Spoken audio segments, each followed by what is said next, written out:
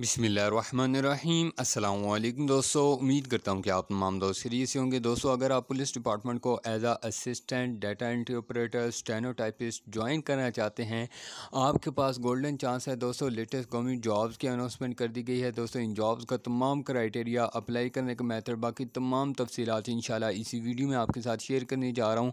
दोस्तों वीडियो को last watch कर लीजिएगा। चैनल पर चैनल को लाजमी से सब्सक्राइब कर लीजिएगा। बेल के आइकन कॉल के ऊपर लाजमी से प्रेस कर लीजिएगा, ताकि कि ऐसी जॉब्स के रिलेटेड कोई भी अपडेट्स आपसे मिस ना हो जाएँ। दोस्तों, आपने गूगल पर आ जाना है और आपने सर्च कर लेना है Guru of jobs dot com दोस्तों, यहाँ पर आपको ये फ़र्स्ट नंबर पर लिंक मिलेगा। आपने इसे ओपन कर लेना है Guru of jobs get daily latest jobs दोस्तों, यहाँ पर आपको ये थर्ड नंबर पर पोस्ट मिलती है। उससे पहले आपको यहाँ पर बताता चलूँ। यहाँ पर आपको एक पोस्ट मिलेगी डाटा रिसर्चर जॉब्स की।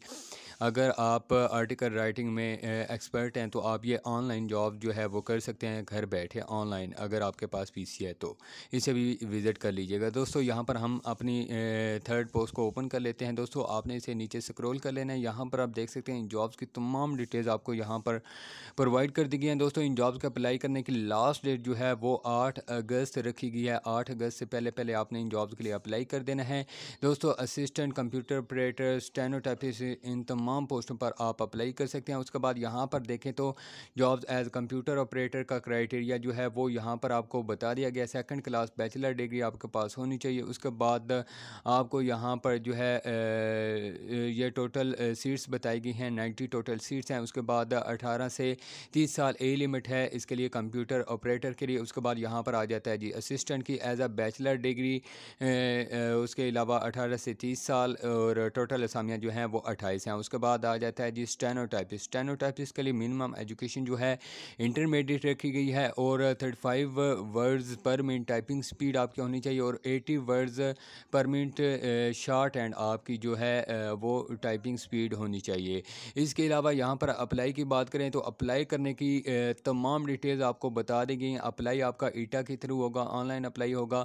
यहाँ पर देखें तो आपको ये वेबसाइट का लिंक दे दिया गया यहाँ से आपने इसे कॉपी करना है। कॉपी करके आप इसे जो है विज़िट कर सकते हैं और ईटा के थ्रू आपका अप्लाई होगा। इसके अलावा यहाँ पर ये आप देख सकते हैं जॉब्स का ऑफिशियल एडवर्टाइजमेंट लेटर है। इसमें आपके तमाम डिटेल्स प्रोवाइड कर दी गई हैं। कौन कौन सी जो है सीट्स हैं, किस ज़िले के लिए हैं, ये तमाम आप यहाँ पर डिटेल्स देख सकते हैं। ये डिटेल्स आपने लाजमी से चेक करनी है कि किस रीजन के लिए कितनी सीट्स हैं। यानी कि ये के पी के की जो जॉब्स हैं, ये किस ज़िले के लिए कितनी सीट्स हैं, ये आप यहाँ पर देखेंगे तो उससे आपको अंदाज़ा हो जाएगा कि आप किस पोस्ट के लिए अप्लाई कर सकते हैं और आपका क्राइटेरिया मैच करता है तो आप इन जॉब्स के लिए अप्लाई कर सकेंगे।